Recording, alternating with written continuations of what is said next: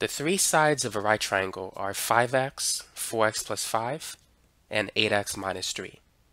What is the integer value of the longest side? Now, before we tackle this problem, for those of you who might be new with the Pythagorean theorem, let's talk about the basics. And before we begin that, don't forget to hit that subscribe button and also click on that notification bell. So the Pythagorean theorem helps us to see the relationship of the three sides of a right triangle.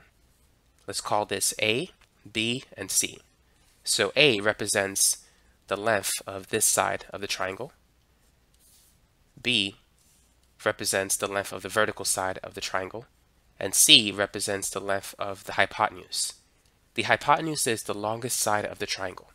It's across the right angle, which is represented by this box. That's a 90 degree angle. Now here's the formula that will help you to calculate the missing side of a right triangle. It's a squared plus b squared is equal to c squared. So let's work on an example problem. Let's say that the hypotenuse is x and the legs of the triangle are 5 and 12. What is the value of x? Well, we can see that a is equal to 5, b is equal to 12, and c is equal to x. So what we have here is 5 squared plus 12 squared is equal to x squared. At this point, we need to do the math. 5 squared is 5 times 5, which is 25. 12 squared, that's 12 times 12, which is 144.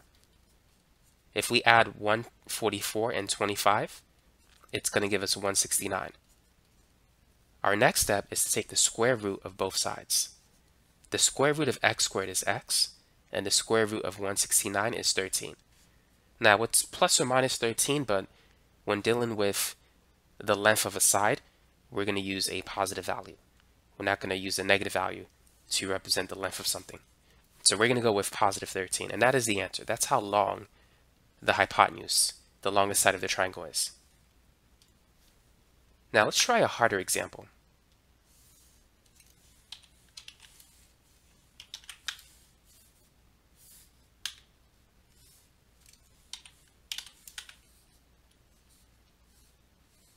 So we're going to have another right triangle.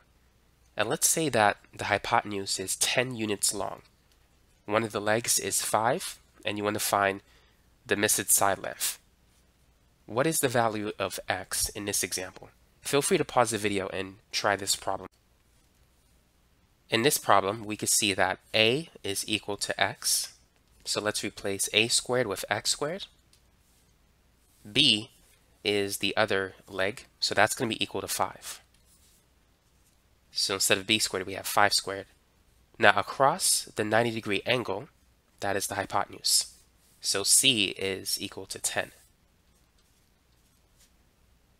Now all we need to do is calculate the value of x.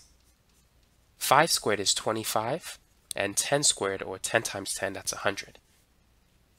Now we need to isolate x squared, so we're going to excuse me, we're going to subtract both sides by 25.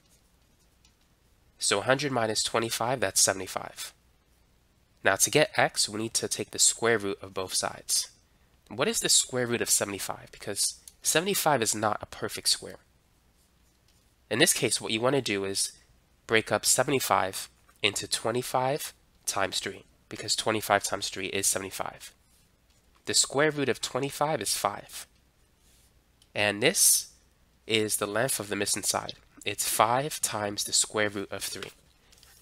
And as a decimal, that is approximately 8.66. So that's how you can calculate the missing side of a triangle. So now let's move on to the problem that was presented at the beginning of this video. Let's read the problem. The three sides of a right triangle are 5x, 4x plus 5, and 8x minus 3. What is the integer value of the longest side? So let's begin with a picture. So in the thumbnail of this video, the two legs of the right triangle were 5x and 4x plus 5. The hypotenuse is 8x minus 3. With this information, what is the integer value of the longest side? The longest side is going to be the hypotenuse. So let's call the first leg A, the second one B. It really doesn't matter which one is A and which one is B. What matters is which one is C. C is going to be the hypotenuse, the longest side. So C is 8x minus 3. Our goal is to find the integer value of the longest side, which is C. So C is what we are looking for in this problem. So let's start with the Pythagorean theorem formula. a squared plus b squared is equal to c squared. A is 5x, b is 4x plus 5, and c is 8x minus 3. 5x squared. 5x times 5x is going to be 25x squared. Now for 4x plus 5 squared, we're squaring a binomial, so we need to FOIL the expression. This is going to be 4x plus 5 times itself. Now the same is true for 8x minus 3 squared. We need to FOIL this expression as well. So I'm running out of space. Let me get rid of this. So keep in mind C is what we're looking for, which is 8x minus 3. So what we have here is 25x squared. And then we're going to multiply 4x times 4x. So that's going to be 16x squared. And then 4x times 5, which is 20x. And then 5 times 4x, that's also 20x. And then finally, 5 times 5 is 25. Now 8x times 8x, that's going to be 64x squared. And then 8x times negative 3, that's negative 24x. Negative 3 times negative 8x, same thing, negative 24x. And then finally negative 3 times negative 3, which is positive 9. Now let's combine like terms. So here on the left side, 25 and 16 added will give us 41. These two terms are similar, so that's going to be plus 40x and then plus 25. That's equal to 64x squared. And we can combine those two, negative 48x plus 9. Now I'm going to take everything from the left side and move it to the right side. To do that, I'm going to subtract both sides by 41x squared and then subtract both sides by 40x and also by 25. So this is going to be 0. 64 minus 41 is 23. Negative 48 minus 40 is negative 88. 9 minus 25, that's going to be negative 16. So this is what we now have.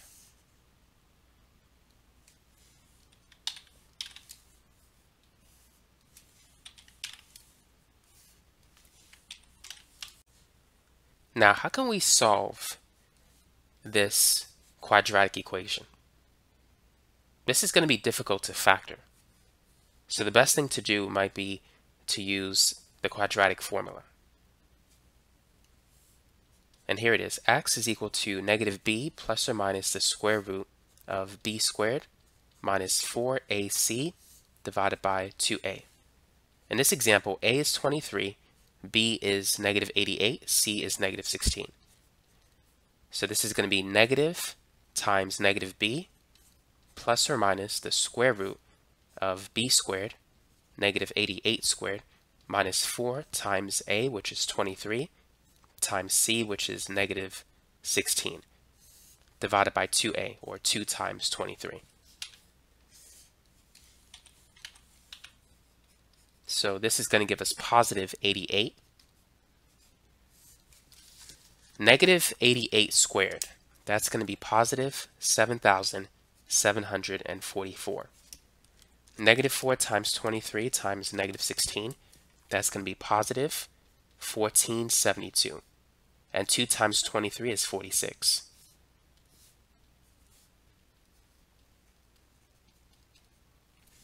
Now 7744 plus 1472, that's 9216.